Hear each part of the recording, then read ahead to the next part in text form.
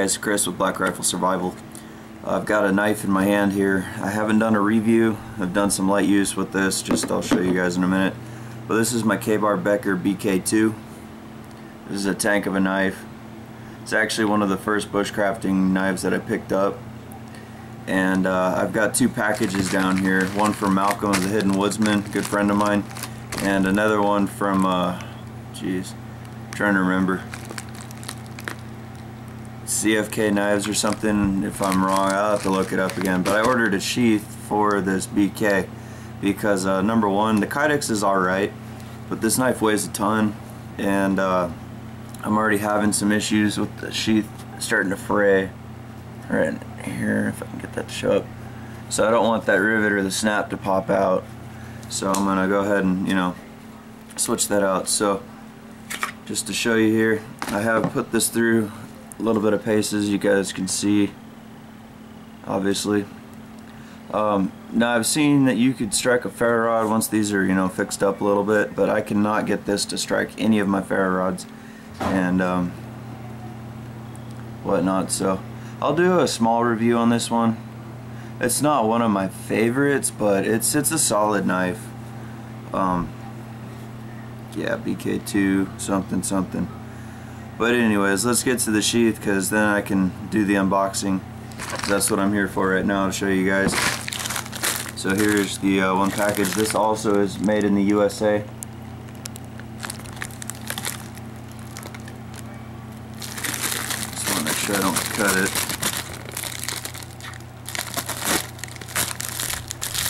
And the BKs are very sharp, obviously.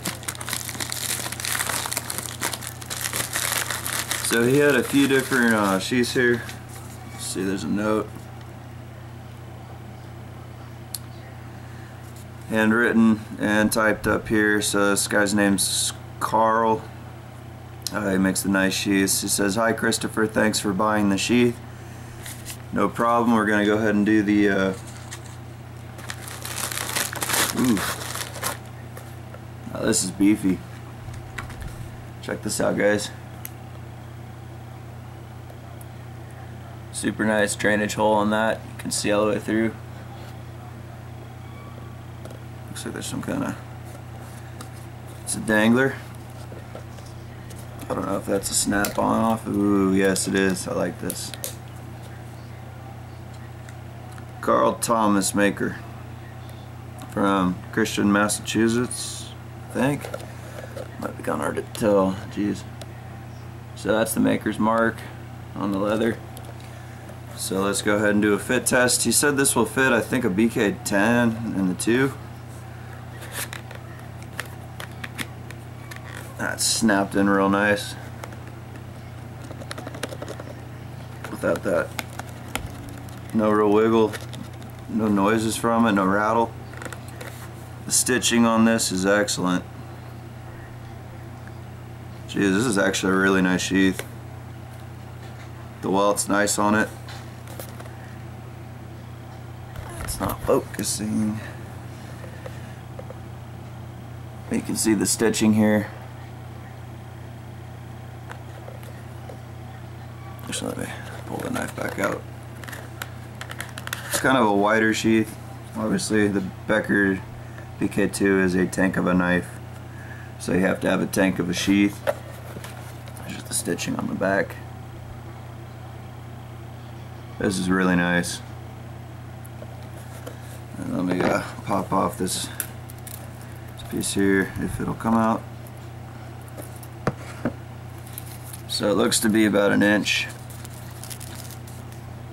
High grain leather. In a pinch you could use this as a strop for the inside of your knife. Or I mean the inside of this, use it as a strop.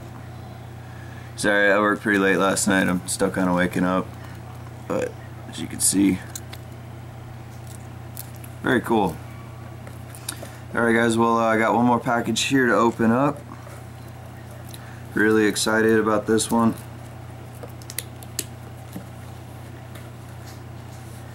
Okay, give me a second. Resheath this here. Well, show you the inside. You guys can look in there. It's pretty nice. You definitely see the weep. Alright. So that's my first package.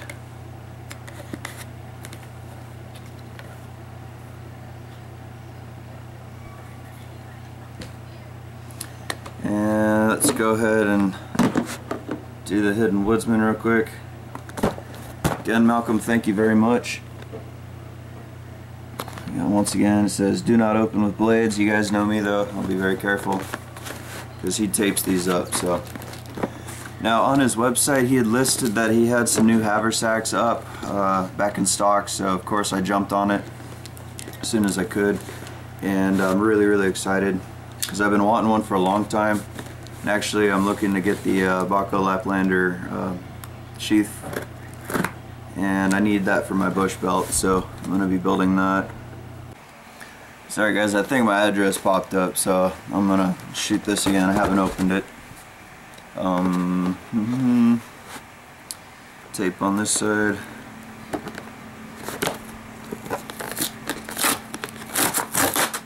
Let's do it this way.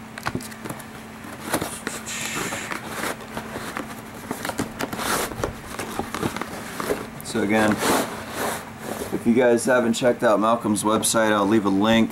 Actually, I'm going to leave a link for both places that I got the uh, sheath and for Malcolm. The other gentleman's name was Carl Carl Thomas, knife sheaths. So I'll leave the uh, links for those if you guys are interested, at least uh, for a BK2.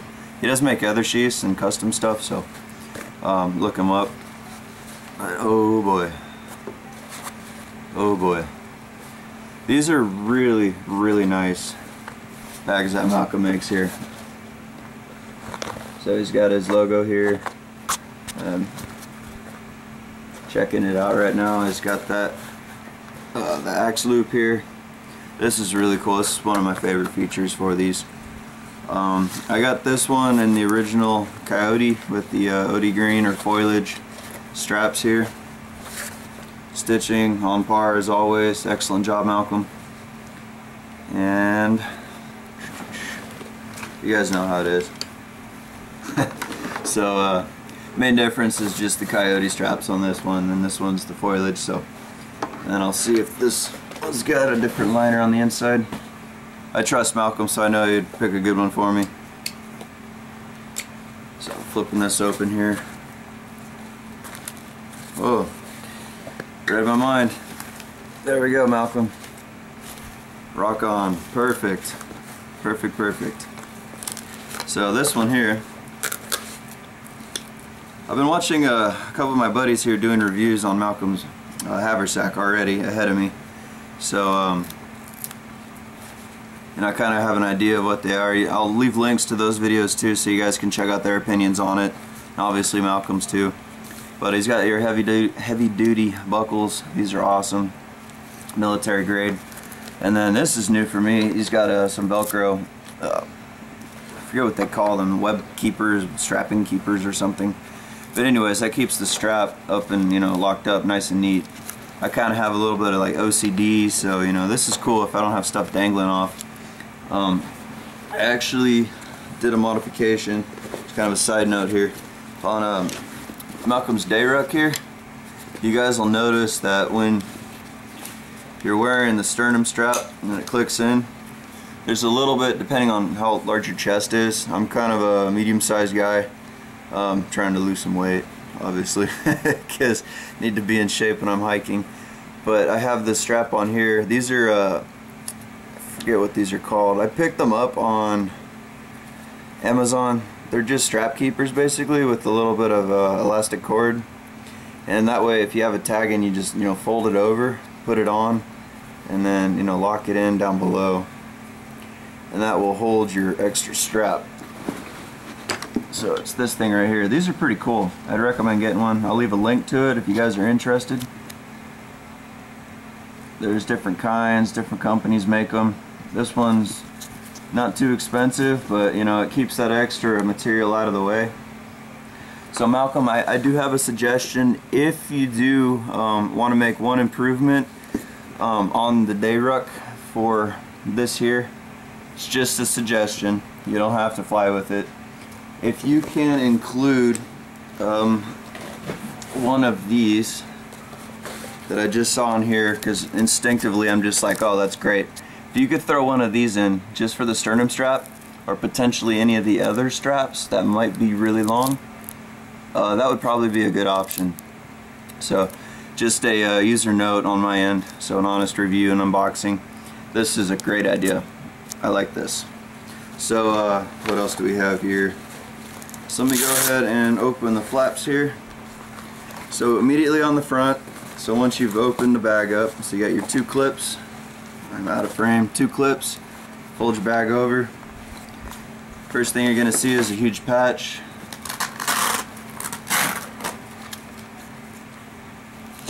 So that'll fit your uh, Hidden Woodsman patch or any other morale patch you have. It's pretty good size here. I mean you can throw in whatever you want. Gotta put John the Wingman 115s on here. Another good buddy of mine. Check out both these channels. If you guys haven't had a chance to. You'll really like them. So, let me put this here. Front zipper. Zipper is really smooth.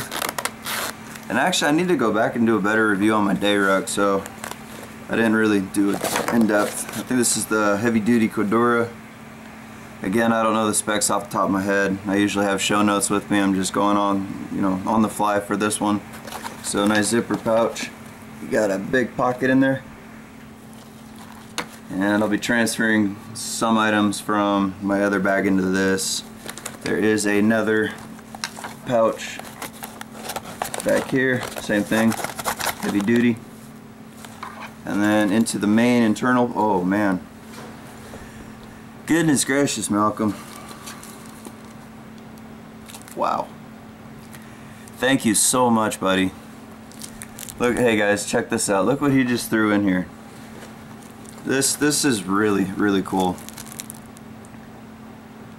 So he's got these camp life in the in the camp life wilderness or in the wilderness by the Hidden Woodsman custom patches. You didn't have to do that, Malcolm. I, I really thank you, man. That's really cool. These are too cool. Alright guys, this is what I'm talking about, you know, with um, Malcolm and the Hidden Woodsman, he's just going above and beyond. He's just making some really awesome bags here. Totally worth it. This, this was, I was not expecting that. That's really cool. So, let me stick this one on here. Perfect size too. A little bit off, but let me, yeah. Very cool. Alright. More patches. Love patches. So, as always, he includes, it's made in the USA. Rock on. Hidden Woodsman, thank you for your order. Take this out of the plastic so you guys can pause the screen if you're uh, new to my channel and uh, just subscribed. If you guys want an awesome Dayruck backpack, some uh, bushcrafting equipment, this is the guy to go to. His name is Malcolm. Very cool. All handmade, 100% in USA. So getting back to the inside with the surprise in there, that was really cool. You'll see it's got the high-vis yellow liners. I'm a huge fan of that. It just makes sense to me because I'm out in the desert area. If I set the bag down, this just to me makes it easier to find it. So you've got a pouch in the back here, separator. Uh, I don't know if those are, I wanted to say folder for some reason. Anyways, it's a, a separate liner. And you've got your main compartment in here and nothing on the front panel. This is seamed in but there is a lot of space. So I just did the review on this BioLite stove for example, the grill. This disappears. So you've got a lot of space. I mean obviously I haven't packed this thing full, but you can put a lot of stuff in here. The uh, new Z seat. There we go. Got the old Z seat. That'll fit in there too.